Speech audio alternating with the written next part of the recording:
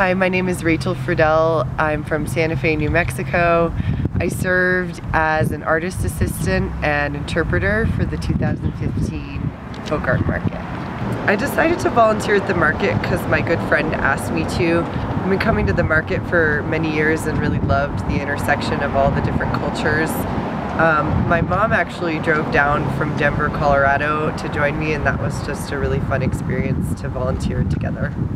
Being a volunteer at the folk art market is this really beautiful and intense experience. You're hearing tons of different languages spoken around you, incredible, colorful, beautiful folk art, just a rich environment.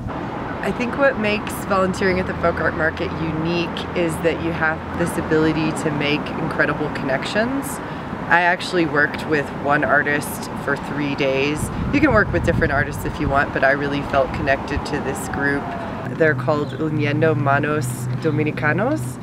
They're a group of women from the Dominican Republic, and I just felt really connected with them after working with them for several days and they made it abundantly clear to me that I could come and visit them anytime in the Dominican Republic if I wanted to and that's just a really special connection. The market is such an incredible experience and you get to see all these cultures in one place. It's like traveling to 50 different countries over one weekend and for those of us who may not have enough money to go to all the places we want to at this point in our lives, you can absolutely go and experience those cultures and meet incredible people from those places.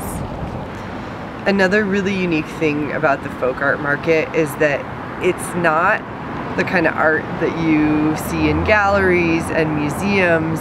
They're these incredible handicrafts that are these rich traditions in people's culture and I think that's a really interesting component of it. It's the people's art. It's a little bit more accessible than I would say fine art is.